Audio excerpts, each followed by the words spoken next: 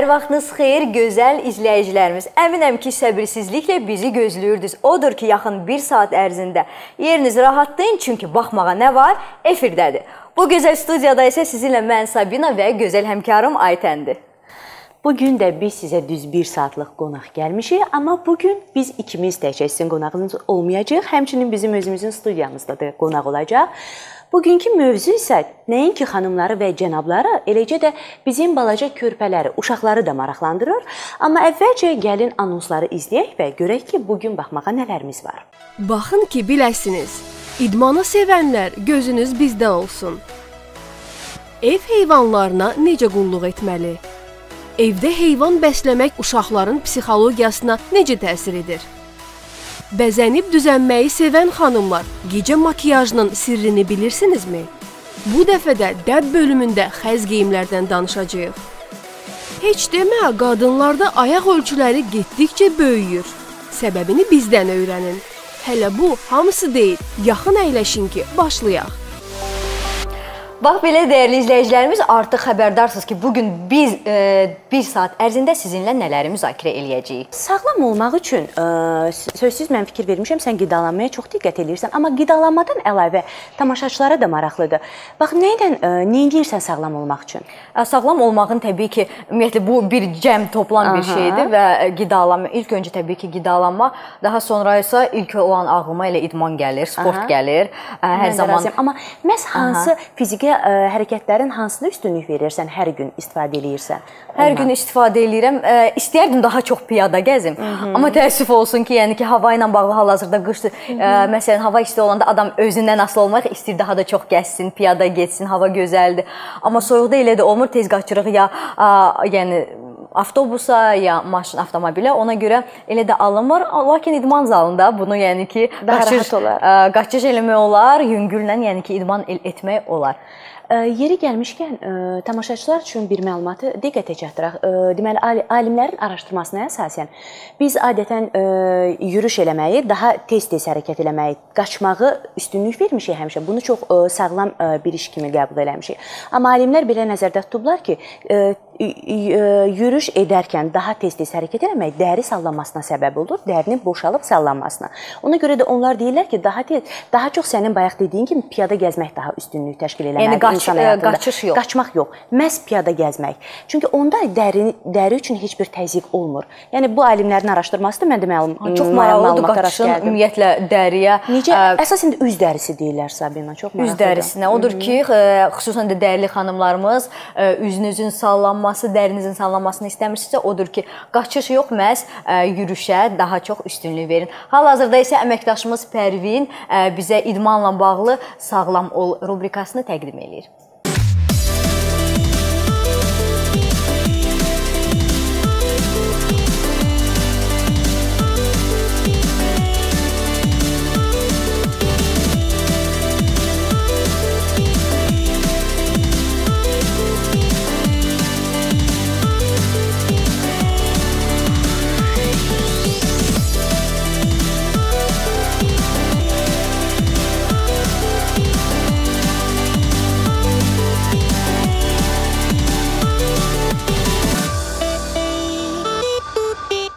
Salam əziz izləyicilərimiz, əminəm ki, bu rubrikamızı səbirsizliklə gözləyirsiniz. Bu gün də sizə ev şəraitində həm də asanlıqla edə biləcəyiniz bəzi fitness hərəkətlərini bizə bu işdə yetəri qədər təcrübəsi olan Şüxəli Mərdanlı göstərəcək. Çox təşəkkürlər ki, siz bizim e, xahişimizi yerə salmadınız və bu gün tamaşaçılarımız üçün ev şəraitində və yaxud da hər hansı e, alətləri əldə eləməklə rahat şəkildə eləyə biləcəyi idman hərəkətləri, fitness hərəkətləri göstərəcək. Mən də bütün tamaşaçıları salamlayıram. Bu gün e, çalışdığımız qədər e, ev şəraitində bəzi yüngül alətlərlə, hansı ki evdə düzəldə biləcəyimiz alətlərlə məşq hərəkət, idman hərəkətlərini göstərəcəyik. O zaman belə isə başlayaq. Diqqətiniz bizdə olsun. Buyurun.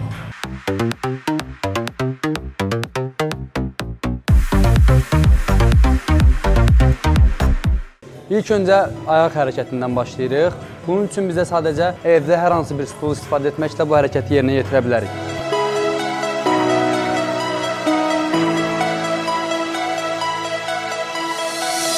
Üç yanaşma ilə hər ayağa 15 ədəd. ilk öncə sol və yaxud sağla başlayıb e, digər ayaqla bitirmək lazımdır. Bir daha göstərirəm.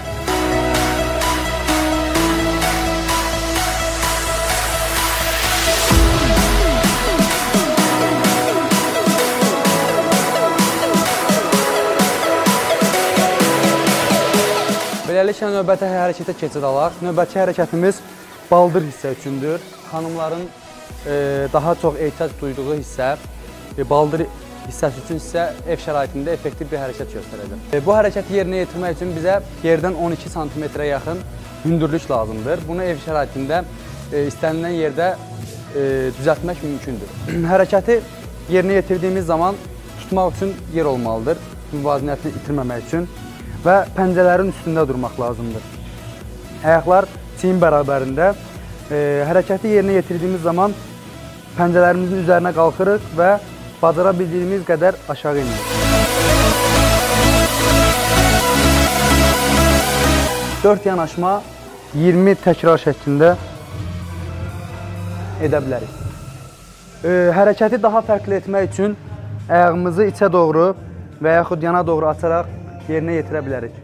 Bu zaman fərqli ədərə qrupları çalışır. Və yaxud bu tərzdə.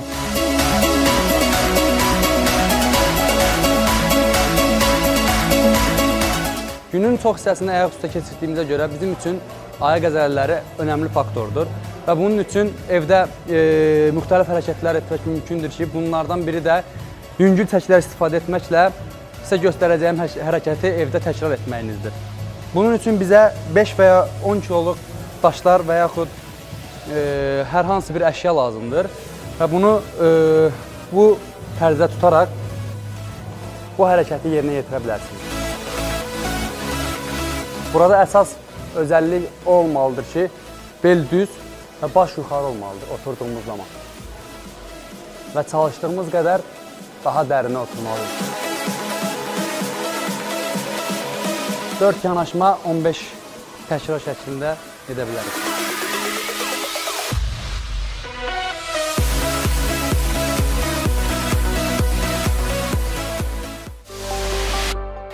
Hər gün, eləcə də mən Sabina xanımı çox gözəl, bəzəkli, düzəkli görürük. Biz fikirləşirik ki, e, yəqin onu qrim eləyirlər. O bu barədə çox məlumatlı olmasa da onu gözəlləşdirməyə ancaq qrimlə nail olur. Amma sizə bir şey diqqətə çatdırım ki, Sabina xanım bunun ensiklopediyasını oxuyur. Çünki hər gün mənim kompüterumun böyründə çönürəm və görürəm ki, Sabina bununla bağlı öyrənir.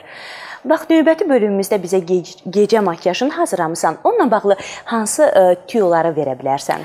A, deməli bəli, Aytən düz vurğuladı, düzgün vurğuladı ki, gecə makiyajı olacaq. Bu gün bəzən düzəndə odur ki, xanımlarımız bəzənib düzənməyi çox bəyənirlər. Odur ki, diqqətiniz bizdə olsun. Növbəti reportajımız məhz bununla bağlıdır. Ümumiyyətlə gecə makiyajında mən yeni bir şey öyrəndim. Hı -hı. Bəlkə bütün xanımlar bunu bilmir, amma makiyajda adətən ə, təbii ki, xanımlar ə, xoşlayırlar gözəl görsənsinlər, amma bəzən bunun həddini aşmaq kimi olur. Bu da təbii ki, gözəl sayılmır artıq. Odur olur ki, məsələn, ə, bizim paltarımız sırf qara bir gecə libasıdırsa, Aha. biz dodaqlarımızı yalnız vurğulaya bilərik. O da ki, qırmızı ə, dodaq boyası ilə məsələn mən bu gün qara olmasa da amma, amma sənə çox məhz, yaraşır. Ə, həm də ki, bəli, yəni dodağın rəngi ilə də çox uyğundur. Bəli, yəni dodağı vurğuluyuruqsa, Hı -hı. məsələn, gözləri artıq neytral saxlamalıyıq. Hı -hı. Yəni ki, göz kölgələrindən az istifadə olmamaq. Sadəcə ə, xanımlar gözəl, yəni tuş, ə, həcmli tuş çəksələr, bu artıq yetərli olar. Hı -hı. Odur ki, bizim professional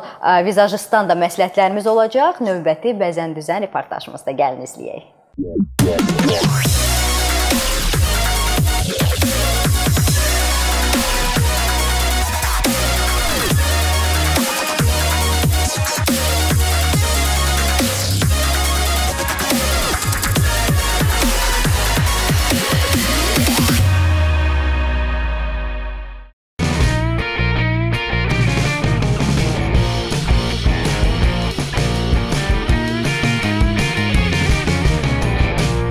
Gözəllik 14 9-u səliqəli makiyaj. Bugünkü rubrikamız da həmişəki kimi gözəlliyə həsr eləmişik. Odur ki, yaxınlarda hansısa bir tədbirə, toya və ya məclisə gedəcəksinizsə, gözünüz bizdə olsun. Çünki gecə və ziyafət makiyajın sirlərini sizinlə bölüşürük. Fərq etmir hansı makiyaj, gecə və ya gündəlik, onu mütləq təmiz və nəmləndirilmiş dəriyə etməlisiniz. Amma üzü təmizləmək və nəmləndirmək makiyajdan ən azı 1 saat əvvəl edin. Çünki dəri kremlə bahəm boyanı da qəbul edəndə xüsusilə də ənlik çəkiləri, ləkələri yaranır və üz dərisi yanılmış kimi təəssürat bağışlayır. Dərinizin rəngindən çox tünd və ya çox açıq olan makiyaj sizi süni göstərər və təbii görünüşünüzə ziyan verə bilər. Buna görə də rəng seçəndə dərinizin rənginə uyğun olan tondan istifadə etmək lazımdır. İndi isə hər bir makiyajın əsas məsələsi təbii ki, bu göz makiyajıdır. Göz makiyajını biz necə etməliyik? Bu hissədə cəlbedicilik yaratmağın ən asan yolu gözün içərisinə qara qələm çəkməkdir. Bu göz makiyajın istifadə gözləri iri olan xanımlara məsləhətdir. Beləliklə gözləriniz daha iri, həcmli görsənəcək. Ölçüsündən asılı olmayaraq gözün üst hissəsini uclarına qələm çəkə bilərsiniz. Bu cəlbediciliyi daha da artırır və gözlərə parıltı bəxş edir. Qaşlarınızın qalın və ya istədiyiniz görünüşdə olması üçün gözlərinizə çəkdiyiniz rəngdə qələmlə qaşlarınızı formaya salın. Gecə makiyajı olduğuna görə göz kölgələrindən sərbəst istifadə edə bilərsiniz. Rəng seçiminə gəldikdə isə bunu gözlərinizin, ziyafət geyiminizin və ya hər hansı aksesuara görə edə bilərsiniz. Əsas diqqəti gözlərinizə yönəltmək istəyirsinizsə, o zaman dodaq boyanızı daha açıq və pastel tonlarında seçməyiniz məqsədə uyğun olar.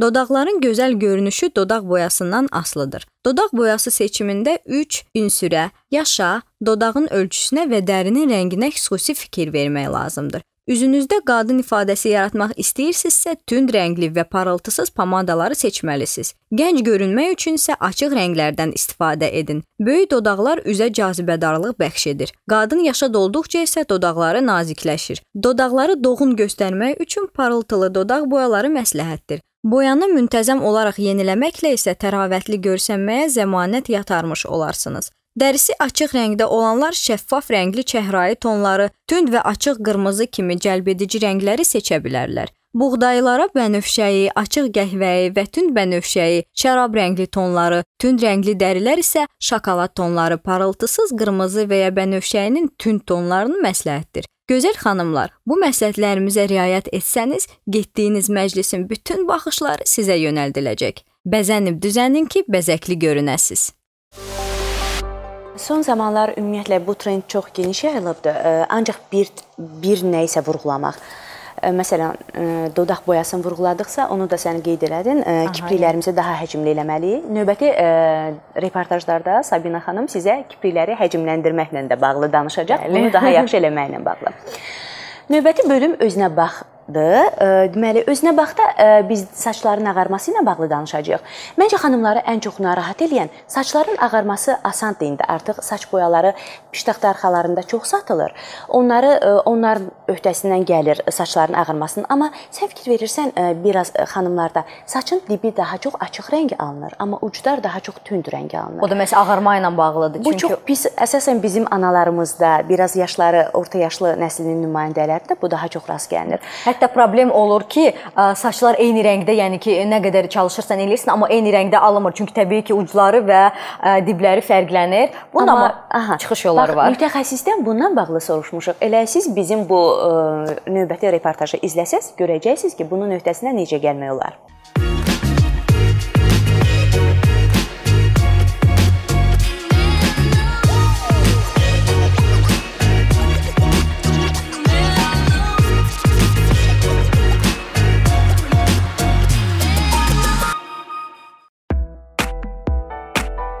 Filmlərdə, seriallarda hansısa aktyorun, aktrisanın yaşı artırılmalıdırsa, ən birinci onun saçını ağartmaqdan başlayırlar. Elə biz də sujetimizdə belə önəmli faktordan söhbət açacağıq. Saçın rəngi onun mərkəzi hissəsi olan beyin maddəsi ilə təyin olunur. Pigmentin sayından asılı olaraq saçlar müxtəlif rəngdə olur. Açıq, şabalıdı, kürən və qara.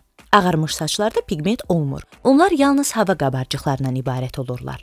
Zamanla saçlarda pigmentlərin sayı azalır, qabarcıqların sayı isə artır. Pigmentlərin maksimal boyama vaxtı yetkin yaşlara təsadüf edir. Bu səbəbdən saçlar uşaq vaxtı daha açıq, yaşlandıqca isə ağarmaya doğru gedirlər. Pigmentlərin kifayət qədər möhkəm olmağına baxmayaraq, ətrafdan olan təsirdən qismən dağıla bilirlər. Məsələn, kimyəvi maddələrlə təmas zamanı saçların rəngi solur. Günəş radiasiyası saçları yandırır, pigmentləri dağıdır. Məlumatlara əsasən saç ağarması adətən ağdərili insanlarda 30, qara dərililərdə isə 40 yaşda başlayır. Əgər saçlarınızda 4-5 dənə ağ tük varsa, onlara görə tez-tez boyamayın. Boyanı saçlar 30% ağaranda qoyun. Əgər başda 25 yaşında artıq 3-4 ağ tük varsa, deməli gələn il onların sayı 6-7 olacaq. Çünki ağ saçlar ilbəil 2 dəfə artır. Saçların ağarması tək-tək formada 30 yaşdan sonra, sürətli ağarma 50 yaşdan sonra müşahidə olunur. Bədən müqavimətinin zəiflədiyi hallarda saç ağarması baş verə bilər. Qeyri-düzgün qidalanma, vitamin və mikroelementlərin çatışmamazlığı da saçların erkən ağarmasına gətirib çıxarır.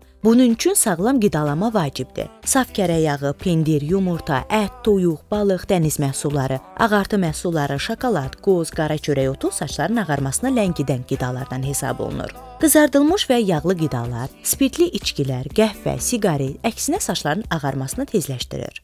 Mütəxəssislərin sözlərinə görə, gizli şəkər xəstəliyi, qan azlığı, qalxana bənzər vəzin funksiyasının pozulması da saçların ağarmasına səbəb olur.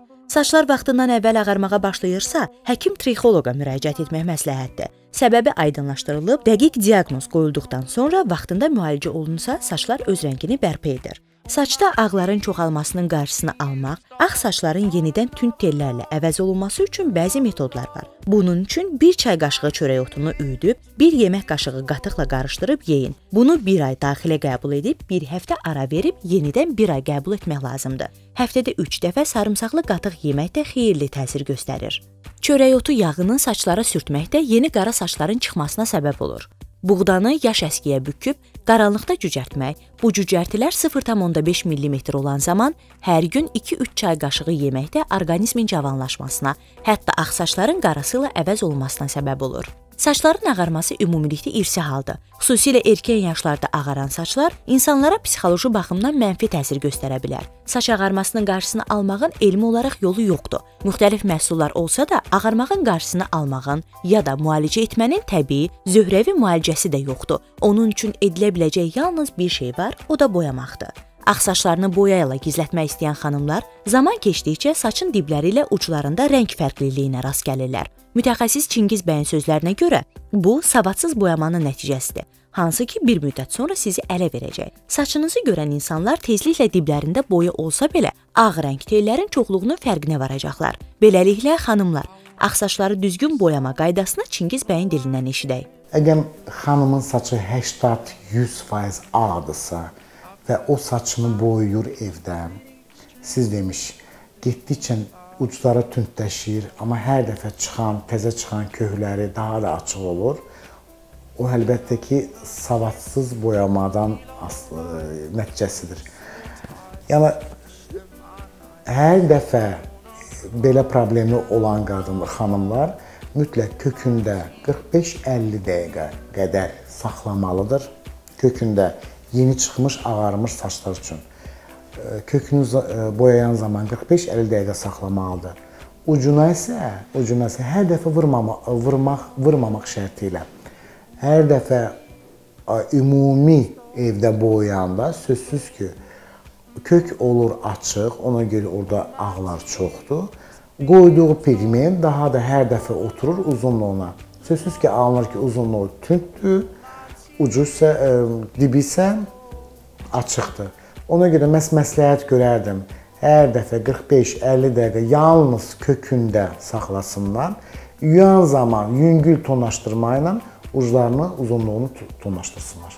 Saçların dibləri tamamilə ağaran xanımlar saçın uzanma tezliyinə nəzərən bəzən ayda 2 dəfə boya qoymaq məcburiyyətində qalırlar. Dildən dilə belə bir mif formalaşıb ki, saç boyaları insanda onkoloji xəstəlik yaradır. Tez-tez saç boyayan xanımlarımızın bu yöndə narahatlığını nəzərə alıb saç ustasına sual vermişik. Doğrudanmı saç boyaları, əsasən də qara rəng saç boyası onkoloji xəstəliklər yaradır?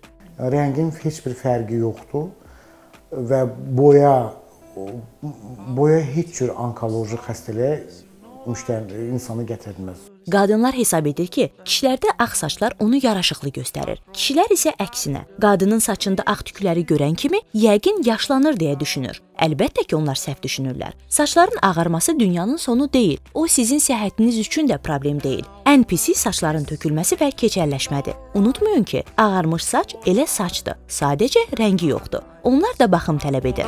cry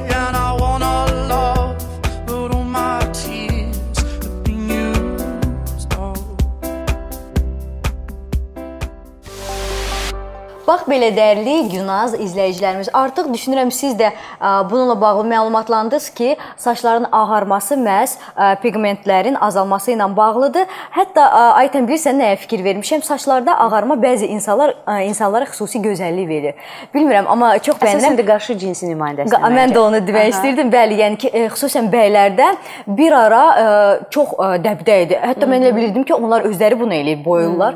Yəni ki, saçların hansısa bir hissəsi, məsələn, başın e, bilmirəm, qırağı, arxası, yəni ki, belə bir e, elə bir ağ, yəni ki, boz rəngdə, hətta deyirdim Boya- boyanıb boyanılıb bir, aha. sanki, deyirdim, e, yəni ki, e, belə bir şey ola bilər ki, yəni bəylər onu xüsusən e, boyayır. Sən demə, yəni məhz belə e, ağarırdı və doğrudan da çox gözəllik verir. Hardasa belə bilmirəm, şəxsən mənim ə, məhz əks cinsdə çox xoşuma gəlir, bəyənirəm bunu. Ə, bəs ümumiyyətlə dəbli də bir ara düşünürəm bu dəbli sayılırdı.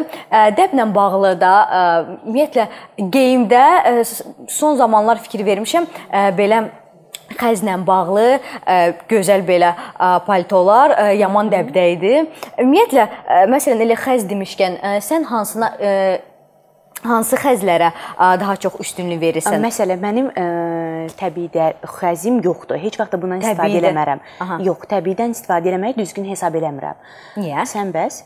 Niyə düzgün hesab Ə, eləmirsən? Çünki ə, YouTube-da var, ə, məncə bunu istənilən adam baxa bilər. Orda ə, deməli heyvanların hansı ə, əziyyət çəkdikləri, yəni xəzin, təbii xəzin hazır olması üçün hansı ə, işləmdən keçdikləri, bu çox Aha. m, yəni çox ə, vəhşicəsinə olan bir videodur Başa əslində, düşdüm. amma əslində ə, elə mən də bununla bağlı Məhz təbii xəzdən istifadə eləmə eləyənlər, heyvan sevər olmayanlar üçün bu çox yaxşı bir dərs olar. Bunu hamı izləsə məncə heç kim bunun üçün pul tökməyə dəyməz. Təbii xəz üçün belə Ə, Hətta fikirləşirəm. mən xəzlə bağlı bir neçə belə maraqlı faktla da rastlaşmışam. Məsələn, hey xəzin təbii ki, mənfi müsbət cəhətləri var. Məsələn, süni xəzin belə deyim də müsbətləri heyvanlara ə, heyvanlar tərəfdən, yəni ki, necə ki sən dedin, heyvanlar öldürülmür, yəni ki, çünki Aha. ehtiyac yoxdur. Ə, Başqa bir məqam da var ki, onlar daha ə, ucuz başa gəlir. Yəni ki, ə, daha ucuz başa gəlir və ə, yəni ki, onları hazırladıqda tekstildir deyə ə, daha yüngül hazırlamaq olur. Amma ə, mənfi cəhətləri də təbii ki var. Süni xəzin məsələn o hava keçirdici ə, çox hava keçirdici keyfiyyətinə malikdir, deyə istini saxlamır. Yəni ki, süni xəzdə Süni xəz, elə də aha. yəni insan tez üşüyə bilər. Ə, Sadəcə bəli, dekor kimi onu geyinə bilərsiniz və ə, çox bir müddətdən sonra əgər ə, xəz sünidirsə, o, o o artıq yəni ki, elə də həcmli görsənmir, yatmağa başlayır və təbii ki, ə, tiftiklənir. Yəni ki, onunla da yoxlamaq olar. Əgər çox geyinirsən, tiftiklənir, deməli süni Təbii deyil. Aha. Sabina xanım sizin üçün bunları hazırlayıbdı məlumatları, bütün mənfilikləri ilə yanaşı. Amma bizim növbəti bölümümüzdə çox məşhur moda dizaynerləri bütün bunları nəzərə alaraq yenə də onun üstündə durublar ki, təbii xəzdən imtina etmək lazımdır. Bununla bağlı izləyək.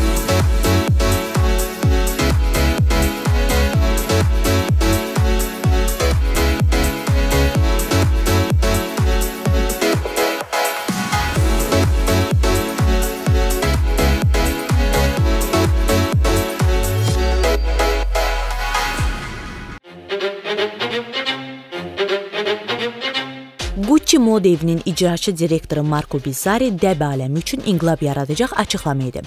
Açıqlamada bildirilir ki, İtalyan brendi gələn yaz mövsümündən etibarən təbii xəz istifadəsindən imtina edəcək. Gucci-nin bu qərarını Amerika Birləşmiş Ştatları Heyvanları Müdafiə Cəmiyyəti və Fufri Alliance təşkilatı da dəstəkləyib. Bu addım moda dünyası üçün gözlənilməz olub. Belə ki, adı çəkilən brend kolleksiyalarında xəzdən geniş istifadə edir. Məsələn, su samuru xəzləri, həmçinin ilan dərisindən hazırlanan olan içi tüklü loferlər moda evinin vizit kartıdır. Gucci-yə məxsus olan Kering şirkəti isə çoxdan təbiətin mühafizəsinə qalxıb. Son 10 ildə Kering brendləri humanitar səbəblərdən daha çox süni dəri və sintetik materiallar istifadə edir. Belə çıxır ki, Alessandro Michele yaz kolleksiyasından gözəl kürklərini çıxarmaq lazım gələcək. Təəssüf ki, bəli. Amma planetin xilası naminə bu addımı atmağa dəyər. Gucci brendindən əlavə Giorgio Armani, Hugo Boss, Stella McCartney kimi moda evləri də xəzdən imtina ediblər. Hər nə qədər təbii xəzə ehtiyac duyulsa da və bəzi ölkələrdə buna tələbat yüksək olsa belə, yenə də bu markalar fikirlərindən daşınmayıblar. Stella McCartney moda evinin kreativ direktoru və yaradıcısı, əfsanəvi musiqiçi Paul McCartney-nin qızı Stella həmkarı olan digər modelgerləri də bu kampaniyaya qoşulmağa çağırıb. Bununla şinşila, samur, dələ, dovşan, tülkü, yenot və digər xəzli heyvanların maksimum öldürülməsinin qarşısı alınır.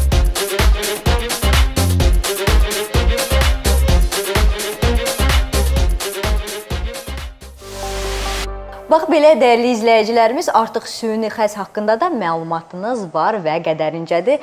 Biz isə növbəti bloqa keçirik. Orada isə əməkdaşımız Rəhim Sport News-u bizə təqdim edir.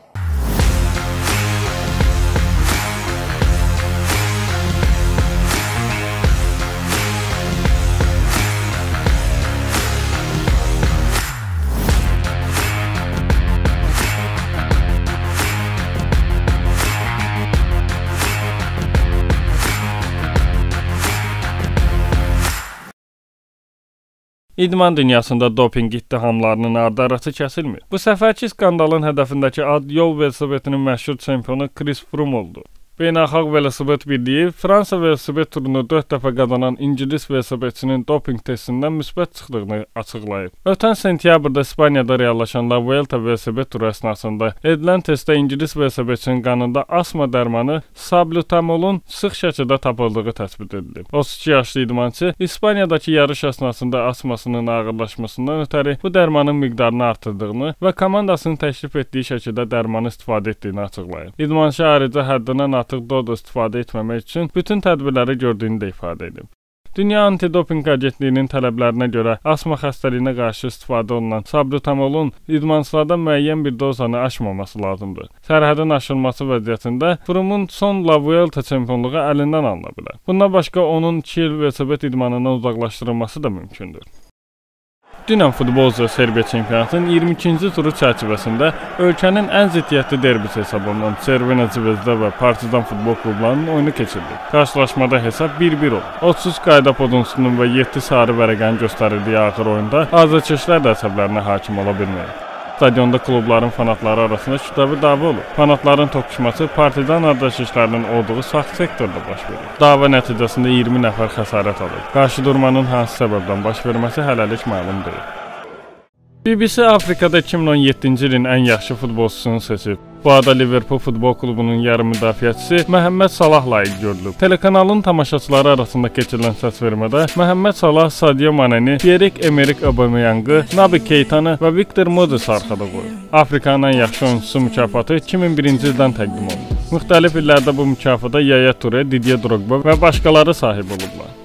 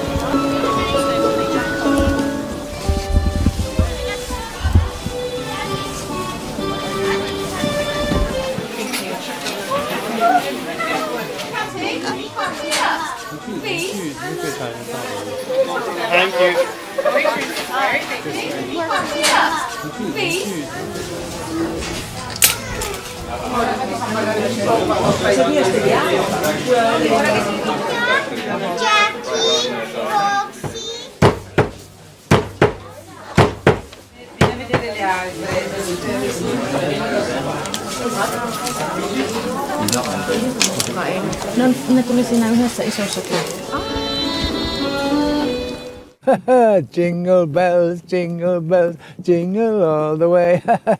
oh, what fun it is to ride in a one. so they also was fun. Mm. Mm, no. Sosial şəbəkələrin həyatımıza çox sürətlə daxil olduğu bir dövrdə məşhur ulduzların əsasən də maqazin dünyasının insanların məncə bizim həyatımıza daxil olma sürəti bir o qədər artdı. Artıq biz onları sosial şəbəkələrdə biz onların həyatını demək olar ki, bir serial kimi izləyirik hər gün. Məsələn, hansısa kimsə, hansısa ulduz öz sevgilisi ilə bu gün barışdı, sabah dalaşdı, o birisi gün harasa getdilər. Bu ona nə hədiyyə aldı, o ona nə hədiyyə aldı. Amma mən sənə elə gəlmir ki, bu biraz qorxuludur. Əslində yox, ə, düşünürəm heç də qorxmaq lazım deyil Aytən, çünki bundan da qorxsaq da nə oldu? Hər şeydən qorxuruq. Ə, əslində bu yaxşı bir, müsbət bir haldır ki, ə, maqazin daha da xəbərləri bizə insanlara, o məşhurlara sanki daha əlçatan oldu. Hər zaman sən vurğuladığın kimi seriallarda, filmlərdə onu onları izləyirdik, amma bilmirdik məsələn onların həyatı necə gedir. Məs belə xəbərlərlə artıq hər şeydən maşallah xəbərdarıq son zamanlar.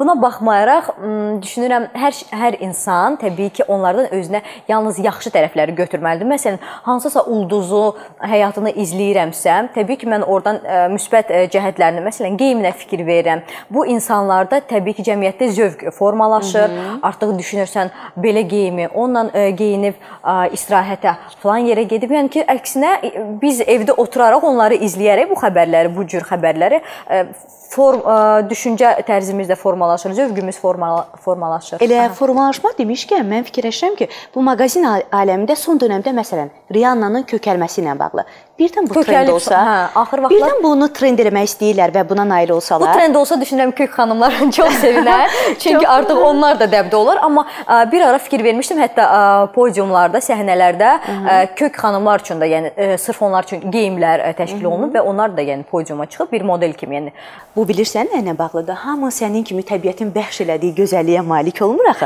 Mankenlər məsələn arıq qalmaq üçün sən bilirsən, onlar çox ə, üsullara əl atırlar və sonunda anoreksiya xəstəliyinə ə, tutulurlar Aha. və artıq ə, bir neçə mankenin ölümü ilə bağlı artıq dizaynerlər belə qərara gəldilər ki, ə, dolu, nisbətən dolu, daha artıq çəkili olan xanımları, məsələn 90-60-90 forması artıq dəyişməyə başladı və Amma yəni artıq standart ölçü deyil 90. Ə, yox, bu standart ölçüdür, amma bəzi dizaynerlər, yəni bu bir növ jest olaraq etdilər ki, belə xanımların da ə, səhnəyə gətirərək, yəni insanların arıqlama, arıq olmağı məcburiyyətindən qaçırmağa çalışdılar. Yəni dəbli olmaq üçün əsas ə, təbii Sağlıqdır. ki, sağlıqdır. Yəni ki, ə, sırf mən arıq olum, gözəl olum, yox, təbii ki, ə, xanımlar ümumiyyətlə hər bir formalarında gözəldir. Əminəm ki, bizim dəyərli izləyicilərimiz ə, izləyicilərimiz üçün də maraqlı bir məlumatlar oldu. Elə yeri gəlmişkən əməkdaşımız İsa sizə maqazin aləmində baş verən ən maraqlı hadisələrdən danışacaq.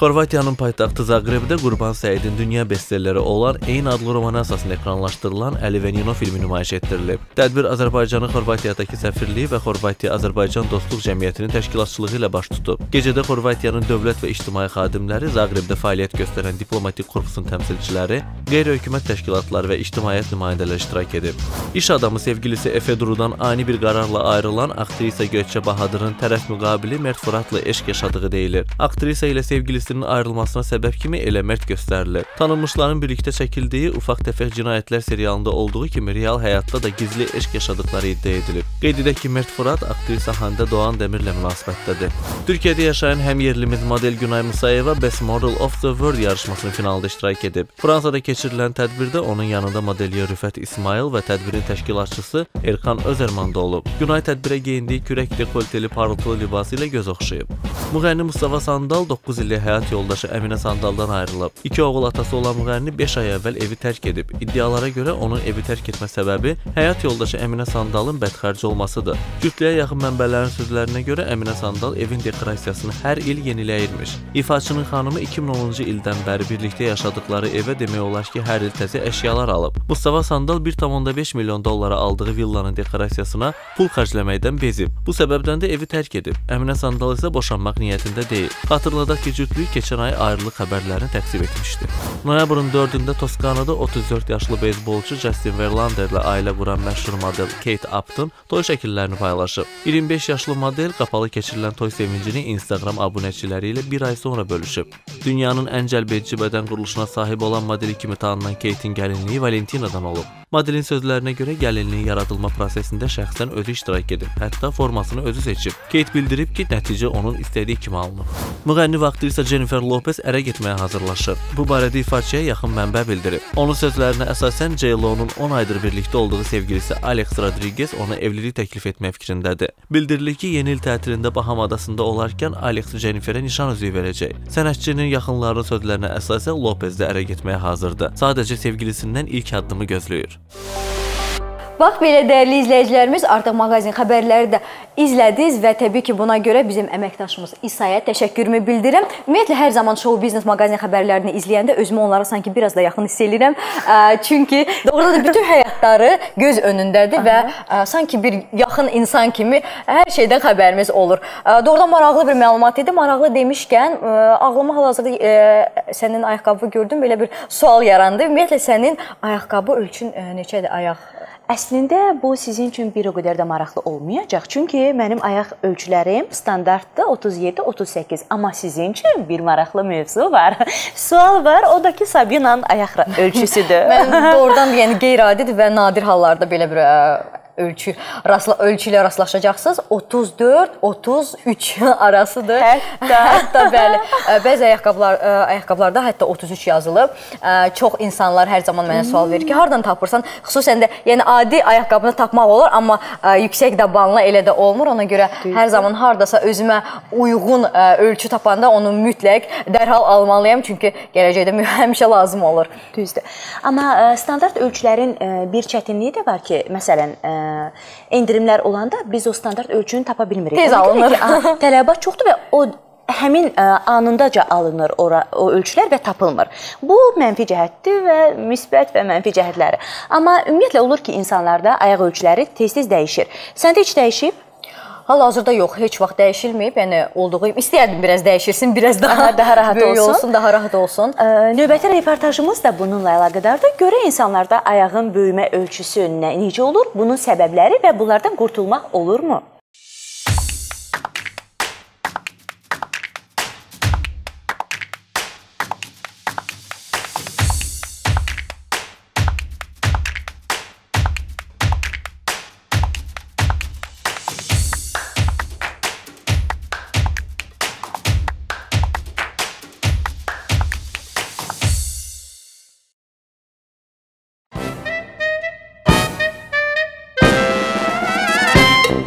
Qadınlarda ayaq ölçüləri niyə tez-tez dəyişir? Sümüklərin zahiri forması irsi xüsusiyyətdən asılı olduğu qədər əzələ fəaliyyətindən də asılıdır. Əzələlərin dartma qüvvəsi nəticəsində sümüklərin üzərində əzələ bağlanan yerdə hündürlüklər, yəni çıxıntılar, qabarlar, çuxurlar və s. əmələ gəlir. Bu da onu deməyə əsas verir ki, əzələ nə qədər çox inkişaf edərsə, sümük hündürlükləri də bir o qədər çox inkişaf edər. Ümumilikdə insan orqanizmində sümüklərin inkişafı boy artımı 25 yaşdan sonra yavaş-yavaş azalmağa başlayır. Lakin ayaq sümüklərinin inkişafı orta hesabla 15 yaşına qədər artıq tamamlanmış olur. Kişilərdə bu sabit qalsa da, qadınlarda tam əksinə dəyişir. Bəs bunun səbəbi nədir?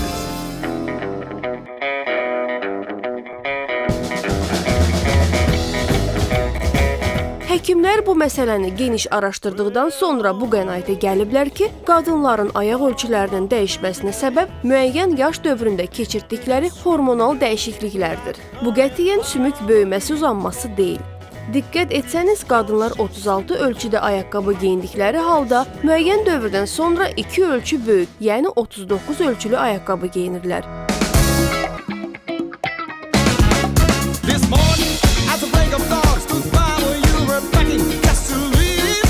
Bu böyümə birbaşa qadınların həyatındakı 3 dövrlə əlaqəlidir. İlk olaraq yetkinlik yaşına çatmamış qızlarda menstruasiya prosesinin başlaması ilə müşahidə edilir. Orqanizmdə gedən geniş miqyaslı dəyişikliklər sümük toxumalarına da təsir edərək onların artmasına səbəb olur. Daha sonra hamiləlik dövründən sonra qadınlarda bəzi hormonlar oynaqlardakı sərt toxumalara, liqamentlərə və əzələlərə təsir edərək onları boşaldır. Bu dövrdə qazanılan əlavə çəkilər ağırlıq səbəbi ilə ayaqların pəncə və xüsusilə daban nahiyəsində müəyyən qədər enlənməyə səbəb olur. Üçüncü, ayaqqabı ölçüsünün dəyişməsinə səbəb olan üçüncü amil isə qadın orqanizminin sonuncu dəyişimə uğradığı proses, yəni postmenopauz adı verilən klimaks dövrüdür. Bu dövrdə isə əzələlərdəki tonus əksikliyi və sümüklərin yetərli mineral maddələrlə təmin edilməməsi ölçülərin dəyişməsinə gətirib çıxarır. Kişilərdə bu prosesin 17-18 yaşlarından sonra sabit olaraq qalması da məhz bu fərqlə bağlıdır. Qadınların ayaq ölçülərində yaşadığı digər problemlər erkən döyənəkləşmə, topuq dikliyi, düz və enli pəncə ola bilər. Bu problemlərin bəziləri məhz yanlış ölçüdə ayaqqabılardan istifadə edildiyi zamanda meydana çıxa bilər. Mütəxəssislər qeyd edir ki, ayaqqabıların dikliyi normal standartlara uyğun şəkildə 2 sm olmalıdır. Ayaqqabı seçimi zamanı topuq ətrafı daha sərt olan yan tərəfləri bağlı ayaqqabılara üstünlük verilməlidir. İnsan uzun müddət ayaq üstə qalanda ayaqlarda şişkinlik yaranır və yanları açıq ayaqqabılar ayaqların formadan çıxmasına səbəb olur. Hətta idman üslubunda ayaqqabılar seçərkən belə bu kriteriyalar gözlənilməlidir. Hündürlüyü 4-5 sm-dən çox olan hündürdaban ayaqqabılar qadınlara estetik ideal görünüş bəxş etsə də, sağlamlıq baxımından olduqca ciddi fəsadlar yaradır. Kişilər hər mövzuda olduğu kimi bu mövzuda da qadınlardan şanslıdırlar. Dizayn baxımından kişi ayaqqabılarının çeşidləri olduqca az olduğundan ayaqqabı seçimində elə ciddi problem yaşamırlar. Ona görə siz də ayaqqabı seçərkən düzgün, uyğun ayaqqabı seçin ki, sonradan sağlamlığınızda problemlər yaranmasın. Bax belə dəyərli izləyicilərimiz gəlib çatdıq günün ən maraqlı, verilişin ümumiyyətlə düşünən buraxılışın ən maraqlı məqamına günün mövzusunu elan etməyin vaxtıdır.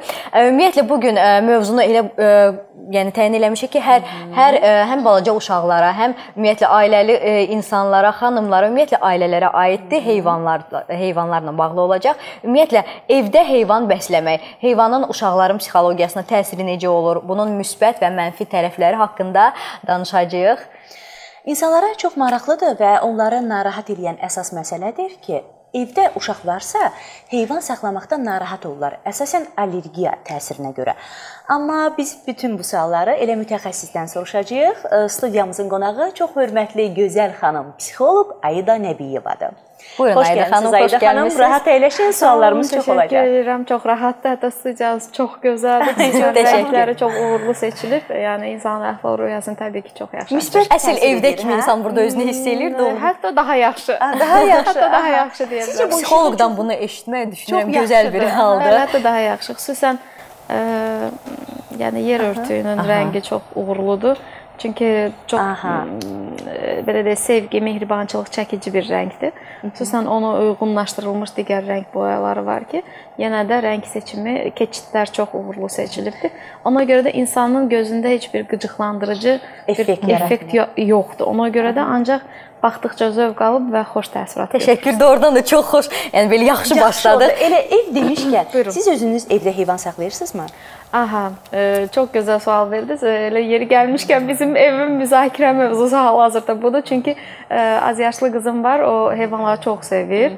Xüsusilə m, pişik və yaxud da ki, e, it. almağımızı istəyir və hətta e, onu evə gətirməyimizi istəyir. Məs ev şəraitinə baxmağımızı istəyir. Sadəcə olaraq e, belə desə atamız etiraz edir. E, çünki atamız e, yəni tibbi üzrə, yəni qeyd edir ki, yəni bu allergik reaksiyalar gücləndirə bilər, uşaqlarda müəyyən infeksion xəstəliklərə falan gətirə bilər. Yəni hal-hazırda vəziyyətimiz budur. Ona görə ala bilmirik, amma çox istəyərdim olsun. Niyə görə? Çünki ə, adicə bizdə həyatda çox ə, pişiklər olur. Mən həmişə çalışıram ki, onlar üçün yəni balaca bir yer düzəldim blokun Yeməyi, içməyi, təbii ki, qızım onlarla davamlı sürətdə ünsiyyət qura bilsin və inandırım sizi 5 dəqiqə onlarla ünsiyyət uşağın aurasına elə müsbət təsir edir ki, bütün günü mən onu rahat ünsiyyət qura bilirəm, rahat onu zəbt edə bilirəm. Təbii ki, yəni bu sırf sizin evinizdə olan hal-hazırdakı vəziyyətdir. Bəs ümumiyyətlə başqa insanları üm ümumilikdə evdə heyvan saxlamağın, yəni ə, ə, müsbət, mənfi tərəfləri. Təbii ki, evdə heyvan saxlamağın müsbət tərəfləri çoxdur. Birinci növbədə heyvan saxlamaq evdəki auranı energetik baxımdan çox müsbət tənzimləyir. Çünki heyvanlar, e, yəni e, belə desək, heyvanların energetik aurası Hı -hı. evə müsbət təsir eləyir. Bir bunu yadda saxlayaq. İkinci, e, ümumiyyətlə heyvanlarla kontakt insanın emosional sferasının aşağı enməməsinə səbəb olur. Hı -hı. Yəni əhval-ruhiyyə daim qalxmasına və ünsiyyətçiliyinə səbəb olur. Çünki elə insanlar var ki, bilirsə onlar tənha yaşayır. Hətta o evdə bircə dənə də olsa heyvanın olmağı onu ağır depressiyalardan qoruyur, özünə Hı -hı. qapanmadan qoruyur. Evdə heyvan saxlanılması ailə münasibətlərinə də çox isti təsir eləyir. Hı -hı. Çünki o heyvan qulluğu, heyvana baxım onları yaxınlaşdırır. Uşaqların tərbiyəsində çox önəmli nüansdır. Niyə görə xüsusilə mən də istəyərdim övladım çox heyvanlarla kontaktda olsun. Çünki heyvanlarla kontakt uşaqlarda olan humanistik hisslərin Aha, aktivləşməsinə bəli səbəb olur. İnsanpərvərlik, insanlara sevgi, heyvanlara sevgi, qayğı sevgi, oyadır, bəli, qayğı kimi funksiyaları oyadır. Mən hər zaman valideynlərə deyirəm ki, övladınıza yəni heyvan hədiyyə eləyir. Yəni bu həm də onları ikinci övladın dünyaya gəlməsinə hazırlayacaqdır. Yəni çox uğurlu şəkildə hazırlayır. Niyə görə artıq yeni bir canlıya baxmaq, qulluq eləmək, ona diqqət yetirmək, ona qayğı vermək, onu digərlərinə qarşı da bu cür qayğıkeş eləyir. Ümumi baxdıqda ümumiyyətlə evdə heyvan saxlamanın bir allergik reaksiya baxımından, bir də bəzi o yenə də deyirəm xüsusi tibbi baxımdan onun hər dəfə profilaktikasıdır, yoxlanmasıdır, nəzarətə alınmasıdır. Bu baxımdan ancaq müsbət təsirləri var. Hı -hı. İki nüansı, bir o heyvanlara qarşı diqqətli ola bilsək, bir də əgər evdə heç kəsin allergik reaksiyası yoxdursa, ancaq mən heyvan saxlamağın tərəfdarıyam. Xüsusilə də mən qeyd edirəm ki, indi müasir dövrümüzdə emosional yadlaşma baş verib gördüyünüz kimi, -hı. ünsiyyət blokadasıdır Yəni hal-hazırda sosial e, şəbəkələrin artması ilə əlaqədar insanlar e, az emosional kontakta girirlər, az ünsiyyətə, daha çox özünə qapanmalara başlayırlar. Həmin dövrdə xüsusilə heyvanlarla bizim kontaktımızın çoxaldılması e, bizim emosional sferamıza çox yaxşı təsir eləyəcək və ünsiyyətçiliyi artıracaq. Bu da təbii ki, sosiallıq baxımından əla bir faktordur. Və mən qeyd edim son dövrlər psixoterapevtik işlərdə də heyvanlardan çox istifadə olunur. Qeyd edirəm ki, yəni hər bir psixoloqun otağında əslində çox yaxşı olardı ki, akvarium olsa içində balıqlar üzdə. Niyə görə? Çünki alt şuura çox yaxşı təsir edir. Alt şuurun təmizlənməsi, Hı -hı. sakitləşdirmə, emosional reaksiyalar, yəni relaksasiya baxımından da çox yaxşı effekt verir. Məsələn, hal-hazırda itlərdən xüsusilə istifadə olunur autistik uşaqların reabilitasiya prosesində. Çünki o itlər xüsusi olaraq hazırlanır uşaqları qoruma, uşaqları yönəltmə məqsədi ilə və həm də itlərin o uşaqlarla quracağı ünsiyyət, adi uşaqlar adi insanlar o ünsiyyət səviyyəsini qura bilmirlər həmin insanlarla. Yəni it daha ə, bəli, yaxşı qura bilir həmin o bəli, daha yaxşı, daha yaxşı qurur və çox maraqlıdır ki, xüsusi qayğıya ehtiyacı olan uşaqların da heyvanlara özəl sevgisi var. Ə, məsələn, son dövrlər delfinoterapiyadan çox istifadə olunur. Xüsusilə hansı uşaqlardan? O uşaqlardan ki, onların erkən yaşlarda ana ilə uşağın kontaktı zəif olubdu. O uşaqlarda yüngül özünə qapanma nüansları başlayıb. Autizm xəstəliyinə. Məsələn, sırf autizm deməyə də bilər. Məsələn, bura reaktiv bağlanma pozuntusu da aid ola bilər. Bura tutalım ki, autistik elementlər də aid ola bilər. Bu adicə uşaq var ki, məsələn, emosional sferası çox zəifdir. Nə etsən danışmır, gülmür, ünsiyyət qurmur. Nə etsən cəmiyyətə qoşulmur.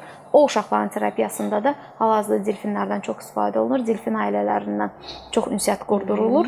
İnandırım sizi ki, orada məsələn 10 gündən aldığımız effekti bəzən biz aylarla terapiyadan ala bilmirik. Biz davamlı olaraq məsləhət görürük, valideynlər uzun yollar qət eləyir bu terapiyanı almaq üçün. E, hə, e, heyvan terapiyası artıq o itlərlə bağlı olan məsələ isə, yəni onun üçün xüsusi mütəxəssislər gətirilməlidir, xüsusi itlər yetişdirilməlidir.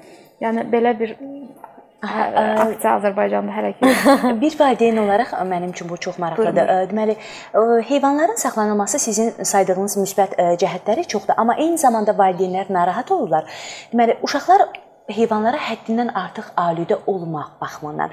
Məsələn, biz necə necə ki sosial şəbəkələrin həyatımıza daxil olmasından narahatıq, insanlarla ünsiyyət ə, problemi yaranır. Məsəl üçün belə ola bilərmi? Övlad ə, o heyvanla çox ünsiyyət yaradır və insanlara artıq biraz daha laqeydcəsin olur E, və bundan sonra bu məsafə saxlayır. Eyni zamanda sonra həmin heyvandan ayrılmaq da onun üçün böyük bir travma yaşayır. Yəni böyük bir problemə çevrilir. Psixoloji travma. Çox maraqlı sual verdiniz. Yerinə düşən sualdır. Qeyd edim ki, əslində evdə heyvan olması uşa- uşağa müsbət təsir eləyir, amma bəzi uşaqlar həqiqətən də heyvana sözün əsl mənasında doğmaları qədər bir pernos eləyir. Bu bilirsiz nə ilə bağlıdır? Birinci bu sualın cavabını valideyn özündə tapmalıdır. Əgər uşağını valideyn özünə çox yaxınlaşdıra bilmirsə, həmin uşaq istənilən halda nə bilim əşyalara belə o doğmalıq perinosunu eləyəcək, nəinki heyvana.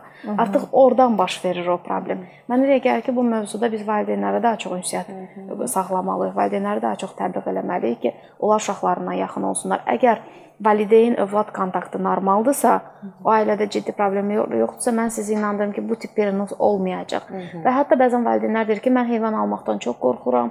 E, Uşaq ona bağlanar, sonra heyvan dünyasını dəyişər, xəstələnər, bir şeylər olar. Mən hər zaman qeyd edirəm ki, sizin valideyniniz valideyn bağlarınız möhkəm olsa, əsla o o dərəcədə pis təsir eləməyəcək. Normal bir hadisə kimi qəbul edəcək. Hətta uşaq dərk edəcək ki, həyatda bütün canlıların doğulma və həyatdan köçmə tarixi var. Bunu normal akt kimi qəbul edəcək.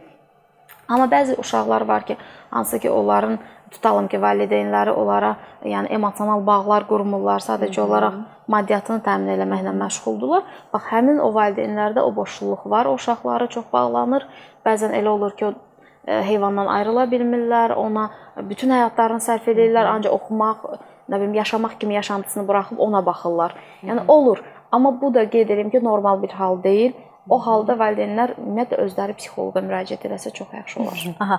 Bəs ümumiyyətlə siz vurğuladınız ki, heyvanları evdə saxlamaq, ə, təbii ki, müsbət bir cəhətdir. Hə- Həyət evlərində daha rahatdır. Yəni ki, təbii ki, hamı bilir ki, it saxlamaq, pişik saxlamaq. Yəni ki, bəs ə, bina evlərində 1-2 otaqlı məsələn evdə, yəni heyvan saxlamaq, məsələn it elə adi saxlamaq. Bəzi insanlar çox var, ə, evdə onları bəsləyirlər. Bəs buna yəni münasibətiniz necədir? Əslində qeyd edim ki, heyvanlar ə, istənilən halda insanların eyni şəraitdə yaşaya bilər. Yenə də qeyd edirəm. Sadəcə olaraq bəzi heyvanlar var ki, onların tükü tökülür. Yəni bu insanları qıcıqlandıra bilər. Amma mən hər zaman o valideynlərə qeyd edirəm ki, elə heyvanlar var ki, onlar ümumiyyətlə heç bir zaman tükünü tökmür. Məsələn, o heyvanlardan istifadə edə bilərsiniz. O belə də növlərdən ala bilərsiniz. İkinci, məsələn, bəzən valideynlər qeyd edir ki, necə yəni o heyvan da onun ağız suyu reaksiyaları, nə bilim, seliyi e, və yaxud da ki, tutalım ki, fizioloji tələbatları o bu. Mən hər zaman qeyd edirəm ki, əgər siz normal vaxtı vaxtında veterinara müraciət eləsəniz, peyvəndləri, yəni dərmanları normal şəkildə əgər olunacaqsa, onun yaşantı baxımından e, heç bir fərqi yoxdur adi insanların nə cür bir evdə yaşayacaq və bir məkanda yaşayacaq. Çünki bir şey qeyd edeyim. Zaten e, həyətdə belə saxlasanız, istənilən heyvan evə girir. Təbii ki. Yəni bunun heç bir Sırf fərqi çöldə yoxdur ki- saxlamaq Bəli, mümkün amma deyil. bir şey var. O heyvan artıq evə daxil olursa, bir şey var. Çöldəki mühiti də evə gətirir, evdəki mühiti də çölə götürür. Artıq evdə saxlanılan məsələn heyvanlar isə konkret mühitdə saxlanılır və onlara çox dissiplinli şəkildə yanaşılır. Mən elə gəlir ki, bu sadəcə yenə də deyirəm, e, diqqət, məsuliyyət e, məsələləridir ki, hansı ki, valideyn istədikdə uşağına xeyirli olsun, faydalı olsun. Bunu normal şəkildə eləyir. Amma istəmədikdə isə müxtəlif bəhanələrlə uzaqlaşdırır. Qeyd elədim ki, məsələn mən özüm çox istəyirəm ki, bizdə olsun. Aha. Sadəcə olaraq məsələn bizim bağçada allergik e, b- bronxial Reaksiyalar. var, bəli. Çox tez ə, qıcıqlanma keçirdir. Heç cürə məsələn olmaz. Amma elə bax allergik ə, demişkən Ayda xanım, məsələn ə, biz də yəni həyət evi deyil bizdə, bina evidir, amma buna baxmayaraq, yəni iki otaqlı evdə belə böyük bir mənzil də deyil. Amma şəxsən mən, yəni ki biz e, it saxlayırıq, balaca balonkadır. Elə siz allergik reaksiya dediniz. Məsələn, xüsusi bəzi növlər var, itlərin növləri ki, heç bir allergik reaksiya, reaksiya vermir. Ümumiyyətlə mən onu almaqdan öncə yəni çox maraqlı məlumatlar toplamışdım ki, allergik reaksiya nəyə olur? O heyvanın tükünə. Yəni ki, bəzi xüsusi növlər var ki, onlarda tük deyil, insan ə, saçına iden- Bəli, identik oxşuyur. bir insan saçıdır. E, məsələn, ə, pudel növü, balonka növləri. E, bir də ə, terrier var. Bəli. Yəni ki, onları siz rahatlıqla e, e, və hətta pudelin və balonkanın tükü ümumiyyətlə tökülmür. Bəli, bəli. E, yəni ki, onları siz mən düşünürəm qızınıza hədiyyə eləyə bilərsiniz bu yaxın gələcəkdə. Ə, Bəli, yəni hər halda o haqqda düş, çox düşünürəm, çünki çox istəyirəm. Aha. Çünki düşünürəm ki, biz özümüz elə bir sahədəyik ki, bütün gün o ə, məsələlərlə, mövzularla ə, belə desək maraqlanırıq. Ay ə, bu problemlər, o problemlər, amma axşam evə gəldikdə belə inandırım sizi, bəzən mənim o qədər ehtiyacım olur ki, sadəcə olaraq bir heyvanı tükünü sığallayım. sığallayım. Ona Aha. xoş sözlər demək. Çünki adicə hər bir heyvanı yaxınlaşsaz, onun xüsusi istiliyi var. Hə. O istiliyin bilirsiniz nə qədər müsbət təsiri var insana. Onun toxunması belə insanı sakitləşdirir. O baxımdan, yəni bizim özümüz üçün də çox faydalı olar. Sadəcə olaraq yavaş-yavaş biz o məsuliyyət məsələlərini falan da üstələnməli və ona doğru getməliyik. Hərarət demişkən Ayda xanım, deməli belə bir ə, əsasən el arasında da bu söhbətlər, yəni elmi araşdırmalardan məncə belə bir nəticə çıxarılmayıbdı. Əsasən də pişik evdə saxlayarkən pişik insanlarda, xəstə insanlarda və yaxud insanın hansısa xəstə orqanizminin üzərinə çıxır və o orada elə ki ə, dayanır, bir xilaq dayanır. Bu deyilir ki, ə, pişik onu hiss eləyir, insandakı ə, xəstə orqanizmi. Siz bir psixoloq kimi buna razısınız yoxsa bu ancaq insanların bir təsəllisidir, heyvan heyvanlara marağın artması üçün bir yöndür? Az öncə mən energetik məsələlərdən danışdım. Məsələn, bildiyiniz kimi əgər evdə gərginlik varsa, heyvanlar sakit otura bilmirlər, gedib gəlirlər. Əgər evdə gərginlik varsa, o heyvanlar heç cür evdə yata bilmir. Və yaxud da ki, bir hadisə baş veribsə və ya bir müəyyən bir ə, evdə bir konflikt olubsa, heç cür rahat ola bilmirlər. Mən nəyi nəzərdə tuturam ki, bu heyvanların bizim necə hissiyatımız var. Bizdən də qat-qat da, ə, yüksək dərəcədə onların hissiyat qabiliyyəti olur. Təbii ki, onlar ə, narahat olan insanı hiss eləyirlər və biz necə öz doğmamız narahat olursa ona sığınırıq, onu qucaqlayırıq, onun yanında oluruq və həmin effekti yaradılır. Tutalım ki, əgər mənim başım ağrıyırsa düşünün, heyvan heç bir zaman gəlib mənim başın yanında oturmayacaq. və təbii ki, bəzən elə olur ki, insanlar ürəyi ağrıyır. Heyvan gəlir onun qucağına həsələ çıxır axı. İstiliyi orada yaradır. Bu hardasa biraz da inanclardır. Amma o gərginliyi o hiss eləyir. O demək deyil ki, o dəqiq bilir ki, hansı orqanda problem var. Yox, mən bundan qətiyyən razı deyiləm. Amma evdə ailə üzvlərindən kimin daha narahat olduğunu o bilir. Elə biz pişiklərdən danışmışkən ə, bir məlumatı ə, əldə etmişəm. İstəyirəm tamaşaçılarla da bölüşək. Deməli, pişik saxlamaq insanı şizofren edə bilər. Amerika Birləşmiş Ştatlarında araşdırmaya bir əsasən bu nəticəyə gəlinibdi. Ə, Deməli, pişiklərdən insanlara keçən toksoplazma gondii adlı parazit insanlarda əsasən də şizofreniya narahatlığına səbəb ola bilər və qeyd olunur ki, bu parazitin heyvanların ifrazatları sayəsində insanlara bulaşdığı deyilir.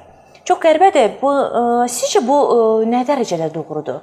Siz bayaq da bundan danışdınız, ə, heyvanların selikli qi- ə, qişası ilə bağlı, ağız suları ilə bağlı. Yəni onda deməli valideynlər buna diqqət eləməlidirlər. Sabina dediyi kimi, əgər biz hansısa heyvanı evimizin bir sakininə çevirmək istəyiriksə, düşündüyümüz qədər də asan deyil. Məsələn, biz buna çox rast gəlirik, küçə heyvanlarından da istifadə olunur bunun üçün. Gətirirlər, o bir müddət evə öyrəşir və kimsə xoşlamır yaxud da hansısa işə, yeni işə başlayır, onu atırlar yenidən əvvəlki həyatına buraxırlar və bu ə, çox pis hesab olunur. Təbii. Yəni bununla E, bağlı. Bilirsiniz mən xüsusi, xüsusilə nəyi qeyd eləmək istəyirəm? Təbii ki, heyvanların silikləri olsun, ifrazat ə, obyektləri olsun, yəni onlarda müəyyən o ə, mikro, mikro hissəciklər var ki, hansı ki, bəzən insana mənfi təsir eləyir və sadəcə olaraq bunlar xüsusi olaraq araşdırılmalıdır. Mən ə, az öncə qeyd elədimmi söhbətinizdə ki, məsələn biz övladımız olsun, özümüz olsun, xüsusilə ə, həmin heyvana həddindən artıq çox yaxınlıq effektini də eləməməliyik. Sadəcə olaraq onu bir heyvan olaraq qəbul eləməliyik. Məsələn, mən elə ailələr tanıyıram ki, az yaşlı uşaqlar heyvanı öpür, qucaqlayır, yalayır. Yəni izah edə bilirəm necədir? Yəni bu da etik səviyyədə düzgün deyil. Çünki heç bir qohumumuzu biz o şəkildə yaxınlaşmırıq.